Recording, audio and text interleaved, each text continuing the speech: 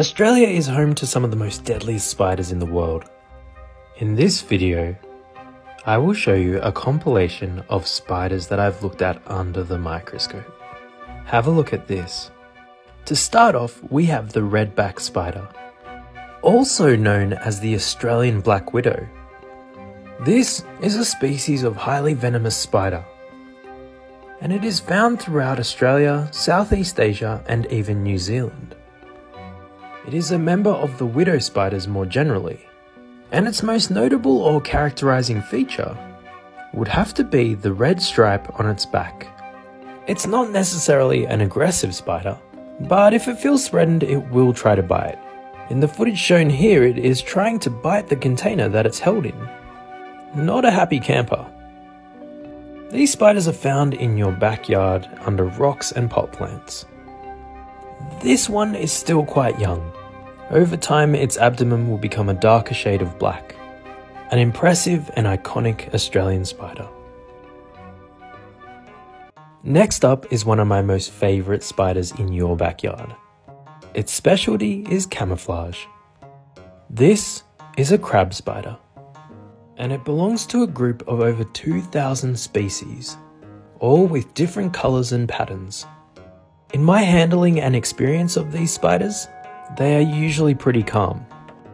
They are called crab spiders because they have two long front legs, and they sort of spread out like a crab would.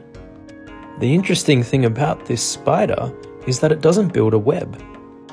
Instead, it has mastered the art of deception. And to a certain degree, the crab spider can change its colour it will do this to blend in to the surrounding environment. To catch prey, the spider will set up camp on a flower. And when a fly or a bug visits the flower, well, I probably don't need to explain the rest. How cool is this? Up next, we have a spider you might recognize. This is colloquially called the white tail spider. Understandably, it has a white tail or a white tip also found in Australia, I often find these spiders around my house. They can give a pretty painful bite. They are most active at night and will actively hunt their prey. It's been previously thought that they do cause skin necrosis, so a flesh eating bite, but there appears to be a lack of evidence to fully support this. Still best to avoid getting bitten by this spider. Lastly, the jumping spider.